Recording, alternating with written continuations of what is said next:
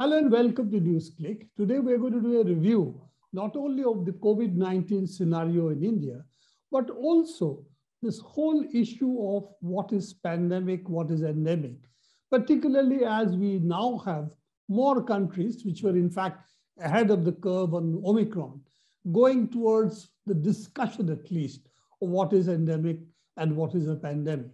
So before we go into that, quick question to you. How do you look at the questions of rise and rapid fall in various states in India? Looking at particularly the urban centers, which of course, as you have discussed with us, are the first to show signs of either fall or rise. So um, clearly, as we've uh, been saying over the past two or three weeks, um, it remains true that there are local outbreaks, particularly in urban areas, that are increasingly fueled by Omicron. Uh, this is by no means to suggest that the earlier strains, such as Delta, have disappeared, but the dominant um, viral lineages now are the Omicron lineages. Um, uh, as an aside, let's keep in mind that the Omicron lineage has also now begun to split into multiple um, substrains, so to say. Um, there is much talk of BA1 and BA2 lineages. BA1B, which was earlier dominant, earlier meaning a month ago dominant, um, BA2 is now beginning to become more and more dominant, and BA1 was relatively easier to recognize. BA2 is relatively less easy to recognize. But the fact of the matter is that at various locations within the country, the Omicron strains are now steadily take, taking over or have already taken over. Associated with this is the fact that some of these local outbreaks in metropolitan India, particularly Mumbai and Delhi, began very early, peaked, and are now clearly going down. Now, the downward trajectories are not as rapid as the upward trajectories, um, and there is noise in them.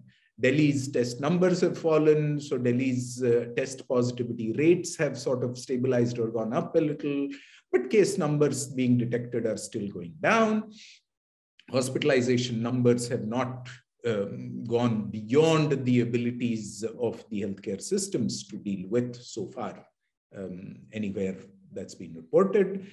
Um, however, in other cities, metropolitan areas, Ahmedabad, Bangalore, Pune, um, in uh, large parts, the length and breadth of Kerala, case numbers are still going up. And this is essentially the picture that we had expected when we pointed out that this is not going to be a nationwide wave that goes up and comes down. This is going to be local outbreaks sort of merging together into national numbers.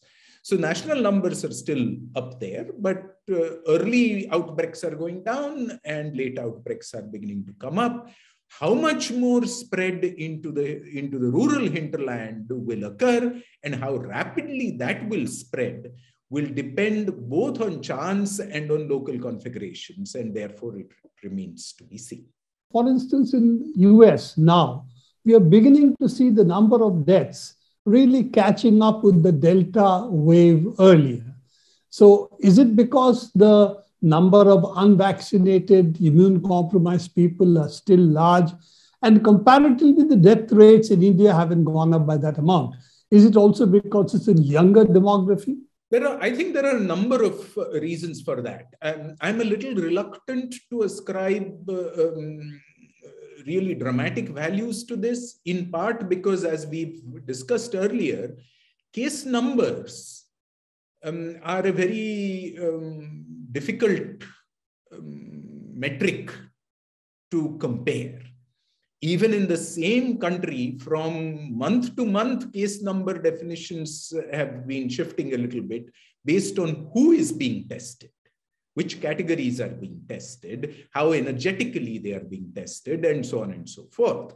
Um, and since case numbers form the denominator of uh, um, the so-called case fatality rate, um, there is a little bit of uncertainty. Nonetheless, um, if at all it is what seems to the eye uh, does turn out to be correct that uh, uh, American fatalities are a little more prominent one way or another than in other places, There can be two or three components to this. One, certainly that like much of the global north, uh, the US has a, an older population. Two, um, like, unlike the global, unlike many other parts of the global north, in the US, the underprivileged communities and the irrational vaccine denying communities are both tightly knit communities with a very with very large proportions of particularly severe illness susceptible comorbid individuals whether because of age or because of other uh, comorbidities diabetes and so on and so forth. And as a consequence it's possible to imagine the convergence of all of these being unvaccinated, being elderly, being in commune, tight-knit communities where transmission is very uh, uh, rapid and efficient, having other comorbidities such as diabetes and uh, so on, may be driving the US uh, death prominence higher than in the rest of the global north, perhaps. And of course, the fact that the US still has a very large peak. It's a very, very, uh, current peak is very large, much higher than the earlier peak. So, of course, not only the, uh, the ratio, but also the numbers of sheer numbers of infected are much larger. So, all of this can go to explain. But we certainly have one good thing to say that, for instance, in Delhi or in Mumbai or in you know Calcutta, we haven't seen the kind of rush that we saw in the hospitals. So we seem to be still, though there is a lag in the uh, death in you know, serious cases uh, rising. Uh, there's a lag between the numbers rising and these numbers rising. Still, this seems to be under control, shall we say, uh, as of now. Though we are beginning to hear, of course, know, friends, relations, old people also dying of COVID at the moment. But leaving that out, Let's come back to what everybody has been talking, which we have not discussed in detail over here. We thought we still have time for it. This talking about what is endemic. And for lay people like us, I have a little bit of a problem that it can be considered that polio is still endemic because we have not eradicated it completely, because we still about 100, 150 cases a year. And flu is also endemic which we can have up to 600,000, 800,000 cases a year. Now, what does endemic mean for lay people like us, not for, shall we say, the medical community, or as a subset of that which to which you belong, the immunologists? So um, the term actually does not come from um, immunology, and to be honest, um, although I will be castigated for this, many of my friends and colleagues in uh, mainstream classical medicine will be hard put to explain it with any great accuracy because it really does belong to the uh, domain of epidemiology, um, properly speaking. For us, epidemiology and immunology are all very similar. No, they're not. But let's let's talk about. Um, what the distinction that we are awaiting is rather than getting into definitions. Why are we worrying about a pandemic and how are we going to arrive at the stage that we are going to stop worrying about a pandemic and whether such a situation is to be called endemicity or not. Let's just think about those questions because those are the practical questions rather than worrying about uh, um, pedantic definition. it belongs to. Okay. So we are worrying about a pandemic for not because this is not simply because this is a virus that can infect everybody.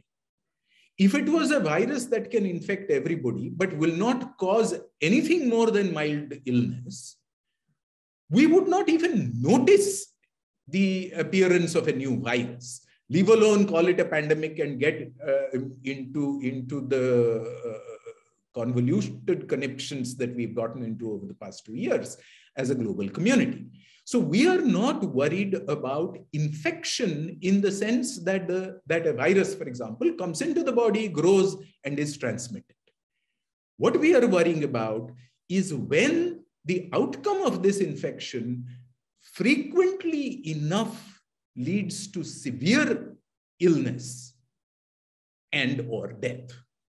And you will remember uh, almost two years ago, a year and a half ago, there were many people, particularly in the United States of America, that most uh, prominently scientific nation in the world, um, uh, there were many people arguing that, oh, it's just another flu. The former president uh, being, being quite uh, prominent amongst that community. It's just another flu. Why are we worrying about it?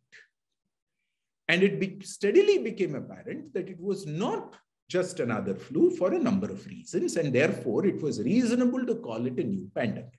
And the reasons were number one, it was very easily transmitted because it was a new virus. And therefore, none of us had been exposed. And therefore, all of us were susceptible. First condition. The second issue was that severe illness even amongst identified uh, cases, was uh, leading to hospitalization in as many as 10% of the cases. And case fatality rates were certainly higher than case fatality rates for influenza, for example. So the question is, which of these factors will change and needs to change before we stop worrying about this as a pandemic? The first question is transmission changing? And until the Omicron strain appeared, we thought transmission efficiency was going down.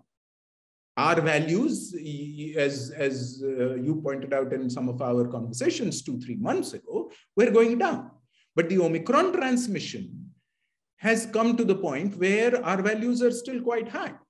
So transmission of infection is not yet going down. In fact, people are getting uh, infected all over the place. So what is going down? What is going down is the percentage of infected people who are ending up in hospital, and of those, the percentage who are dying.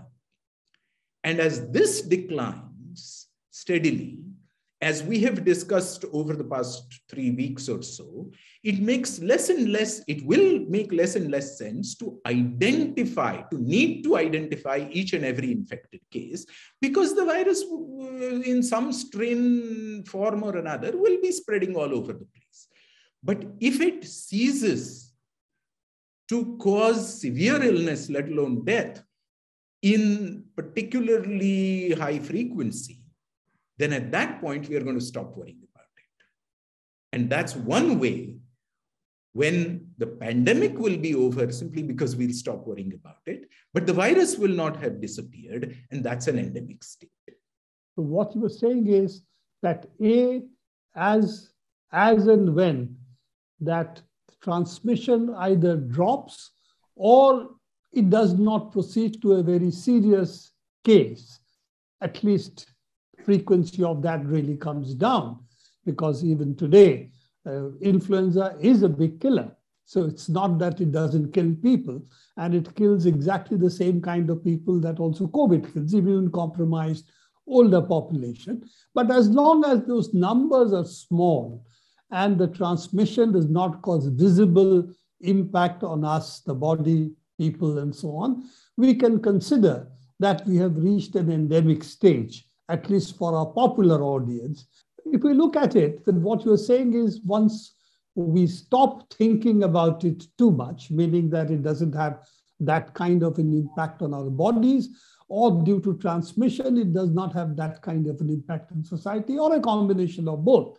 When we come to that stage, we stop worrying about it and we start calling it endemic without bothering when the what is a hard boundary between pandemic and endemic, if I understand you correctly.